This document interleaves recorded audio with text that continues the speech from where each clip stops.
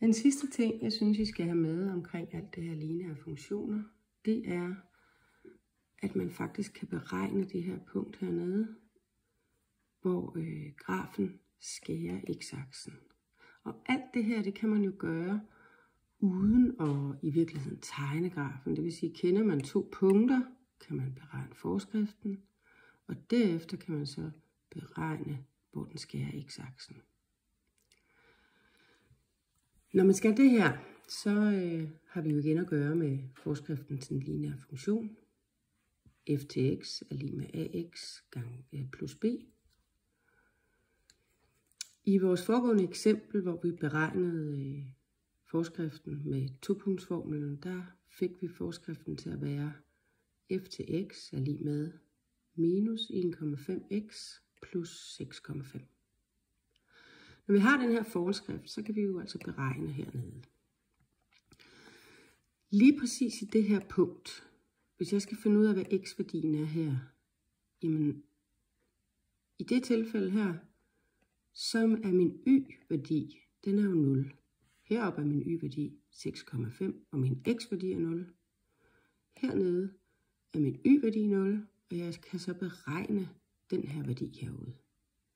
Det gør ved at putte det op som en ligning, og jeg vil lige vise jer det her ned på papir.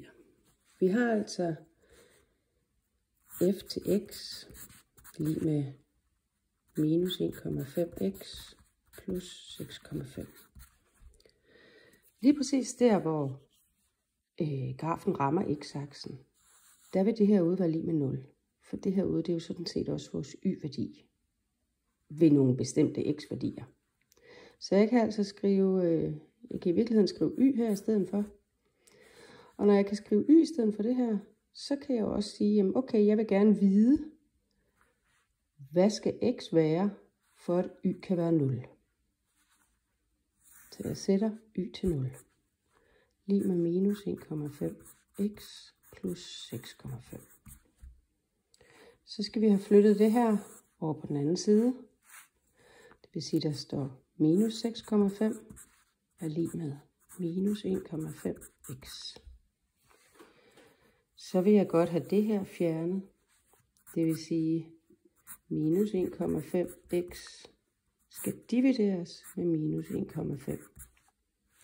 Når jeg dividerer med minus 1,5 på den her side, skal jeg også huske at gøre det herover.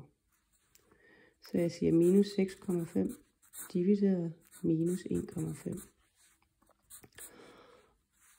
Herover på min højre side, der går de her to ting ud med hinanden.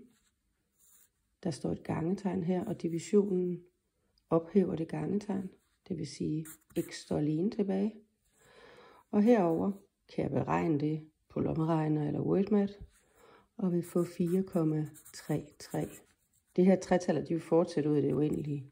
Så i virkeligheden så kan jeg gøre sådan der. Det betyder, at de her tretaller, de fortsætter i al evighed. Mere præcist vil det jo nok være at skrive 4 en tredjedel af lige med x. Men det må man selv om på det her niveau, I er på lige nu. Vi kan lige gå ind og tjekke med grafen, om det, det passer nogenlunde. Det gør det faktisk. Hvis jeg lige plottede den ind i GeoGebra, så kunne jeg gå ind helt præcist og aflæse det her skæringspunkt. Isso.